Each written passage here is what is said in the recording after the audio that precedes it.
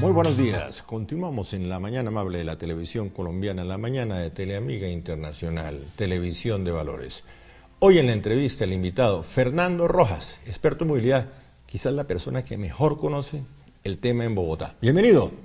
Adolfo, muy buenos días a usted, a todos los televidentes. Muchas gracias por la invitación y muy contento de compartir este espacio. Muy complacido. Pero entremos. La crisis de la política. ¿Qué está pasando?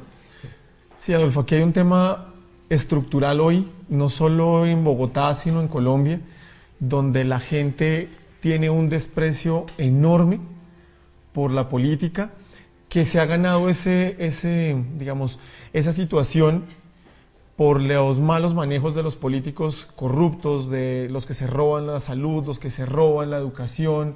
¿sí? Ellos eh, generaron una rabia y una resistencia ciudadana frente a la política que es fundamental para que nosotros podamos discutir hacia dónde vamos a ir, cómo vamos a resolver los problemas y que todos deberíamos participar en esas discusiones. Yo creo que hay dos, dos espacios. Uno es el electoral. No todo el mundo tiene que ser candidato, pero sí es importante informarse y saber por quién va a votar. Y uno que es de discusión política, que uno debe dar en la casa. Porque una de las cosas que yo creo fundamentalmente, Adolfo, es que a las personas que dicen, es que yo soy apolítico, yo les digo, bueno, ¿usted se va a pensionar? ¿Usted tiene mejor salud? ¿Tiene mejor educación por ser apolítico? No. Entonces uno no puede ser apolítico. ¿sí? Usted tiene que tomar una posición, tiene que saber qué está pasando, tiene que entender la discusión hacia dónde va para poder tomar una posición. Si yo no participo en política, le estoy dando la fuerza a los políticos tradicionales, a los que no me gustan, a los corruptos, de que sigan manejando y tomando las decisiones en el país. A eso quería llegar, es una reacción negativa y no es un fenómeno particular, es en todo el mundo, esa reacción contra los políticos y contra la política. Entonces, como hay políticos corruptos, como hay políticos deshonestos, entonces no participo. Y entonces, es darle más espacio a la corrupción, darle más espacio a esta gente Sí, porque es casi que, que dejarlos a sus anchas. Sí, yo creo que si nosotros queremos que las cosas cambien, tenemos que informarnos, tenemos que buscar personas con ideas frescas, ideas nuevas, que quieran, que tengan una vocación de servicio, que no estén llegando, eh, digamos, con unas campañas carísimas, que queden empeñados para después tener que pagar con los recursos públicos a punta de, de cambios de puestos, de favores, de votos. Ese tipo de cosas nos hacen mucho, mucho daño yo, yo sí creo, y es una invitación que uno hace, hoy por ejemplo Bogotá no aguanta ni indiferencia, ni ser apolítico, ni decir yo no voy a participar, ni decir a mí no me importa la política. Pero, pero revise usted en la calle, hable con los jóvenes.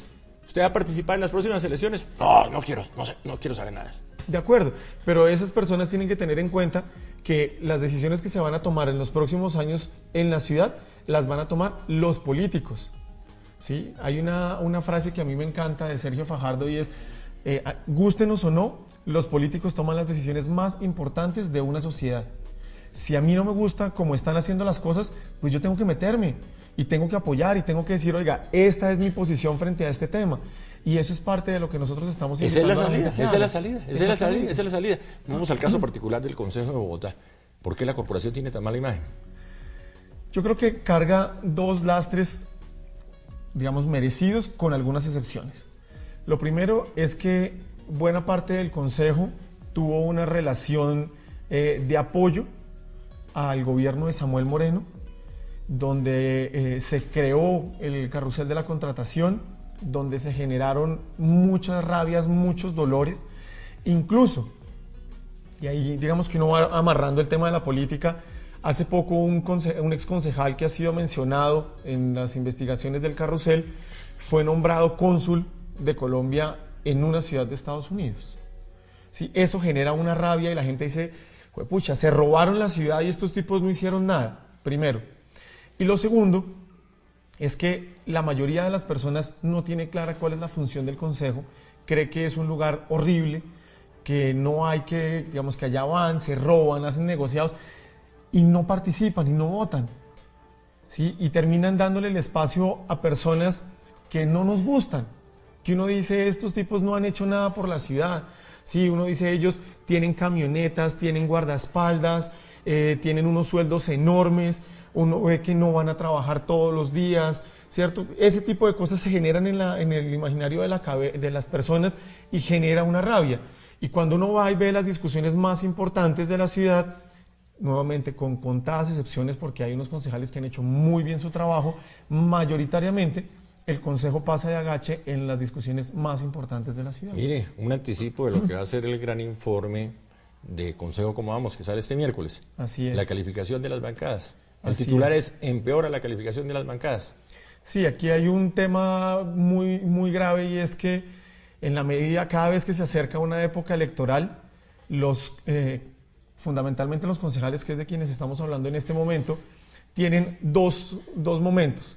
La campaña Congreso, donde ellos hacen campaña por sus, por sus representantes a la Cámara y por sus senadores, y ahí baja el trabajo en el, en el Consejo. Y luego viene la campaña para la reelección. Según nos informó eh, Bogotá, ¿cómo vamos? 35 de los 45 concejales que hay hoy quieren la reelección. Eso significa que la mayoría de ellos van a estar descuidando eh, el trabajo que tienen que hacer en el Consejo de Bogotá para ir a buscar votos. Pero esta va a ser una elección diferente. La renovación va a ser más alta que, que el promedio histórico. Yo creo, yo creo que va a haber una renovación. Ahora, hay que tener claro que también puede haber de nuevo dos escenarios. Una renovación donde van a llegar personas nuevas con ideas nuevas y otra donde están apareciendo delfines, hijos de políticos tradicionales que ya no van a ir más. Política en cuerpo ajeno, política en cuerpo ajeno. Así es. Vamos al tema central, movilidad. Pues hoy, sí, pues se va a inaugurar la, la, glorieta de la sexta con 30. Con 30. ¿Eso sí arregla un poco el tema de movilidad en la ciudad? Adolfo, esta es la obra en Transmilenio más importante que va a ser el alcalde Petro y tal vez la única. Y no resuelve sino la conexión de dos o tres troncales, que es importante, pero no resuelve el problema fundamental que tiene hoy la gente de hacinamiento en las estaciones, de frecuencias en los buses. El, sábado, ¿sí? teníamos que ir, íbamos a hacer un recorrido por la 80 y nos demoramos cerca de 40 minutos esperando el D10 en 40 minutos pasaron dos, de 10 donde era imposible subirse. Señoras con coches, ¿cierto? Personas de, tercera edad que querían entrar los no tenían cómo hacerlo. Pero frente a eso el alcalde no ha hecho ninguna, ningún anuncio. ¿Y qué se puede hacer? Hablando del próximo alcalde. Mire, el próximo alcalde va a tener así por encimita la construcción del metro. ¿Qué va a pasar con eso? Ah, pero eso no está seguro. Por eso. Eso no estoy seguro. Pero eso, venimos hace 50 años en Bogotá. pero es, el próximo alcalde va a tener que discutir con el presidente y ah, decir, bueno, seguimos discutiendo. Usted entregó, y Bogotá sin metro. Usted entregó un cheque simbólico, necesito que me lo dé ahora sí de efectivo. No solo simbólico, sino sin fondos. Ah, sin fondos. Eh, la terminación de, del sistema integrado, con unos problemas enormes. En un debate en el Consejo, el gerente de Transmilenio informó, pero así pasó de agache, que, por ejemplo, Ciudad Bolívar no iba a tener el 100% de cobertura del sistema integrado. No solo Ciudad Bolívar. ¿Cómo se van a mover esas personas? No solo Ciudad Bolívar.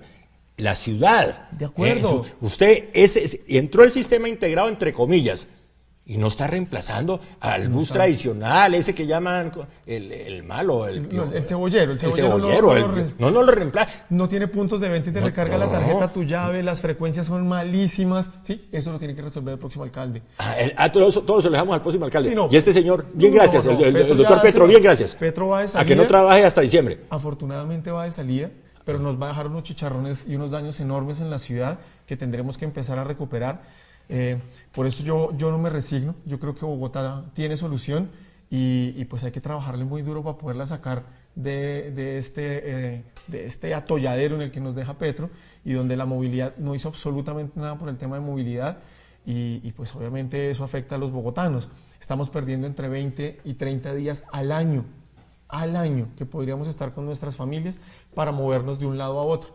Y él, Songo Sorongo, saca pecho eh, y saca unos, unos, comerciales absolutamente divinos, emocionantísimos, pero que no son la realidad que vivimos hoy los bogotanos. Le va mal a Petro, ¿no? Muy mal, muy, muy mal. O sea, yo creo que Petro hoy nos, es, es el claro ejemplo de lo que puede hacer la demagogia y la retórica en una ciudad y en una sociedad. ¿Y en ese abanico de candidatos sí hay, está el candidato ideal para la ciudad? Pues más que un candidato ideal, hay que tratar de buscar personas que conozcan Bogotá, que no vean a Bogotá como un trampolín y que no quieran ser candidatos presidenciales, ¿cierto? Por eso les digo, Petro nos mostró ese camino y creo que fue terrible para la ciudad. Ojalá podamos encontrar una solución y tengamos un alcalde que sea alcalde de Bogotá todos los días del año, 24 horas al día. Fernando Rojas, experto en movilidad, hoy en la entrevista con Adolfo Beck en la mañana amable de la televisión colombiana, la mañana de Teleamiga Internacional, Televisión de Valores. Gracias, doctor Fernando, por acompañarme. Adolfo, muchas gracias por la invitación a los televidentes de Teleamiga. Esperamos vernos de nuevo. ¿Usted vino en cicla o qué utilizó para...? No, yo me muevo en Transmilenio. Generalmente me muevo en Transmilenio. Entonces sé lo que es que lo espichen a uno y que no tenga... ¿Dónde ubica el celular cuando monte en Transmilenio? Eh, en el bolsillo, pero meto la mano en el bolsillo y de ahí no la saco. Ah, bueno. Hay que meterse la mano al bolsillo de vez en cuando. Gracias por venir.